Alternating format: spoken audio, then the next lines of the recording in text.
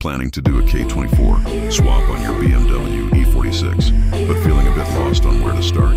Let me guide you through the whole process.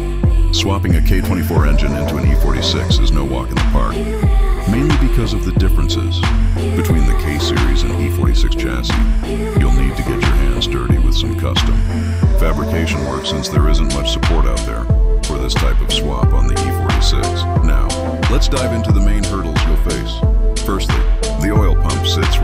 steering rack, so you'll have to do some tweaking to the subframe and move the steering rack forward to accommodate the K-Series engine. Another option would be switching to the E46-9 subframe, but that means changing to the E46 9 steering rack assembly and control arm and setting up two mounts for the front of the IX subframe. On the flip side, you could consider going for a dry sump system to lower the engine position, which would save you from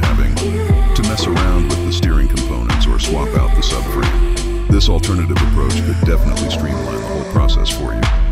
I hope this breakdown sheds some light on your K24 swap journey for the E46. Stay tuned for more updates on the parts I'm using for my build. And I'll also share some alternative parts for the swap. Big shout out to all of you for sticking around and being patient with me throughout this build.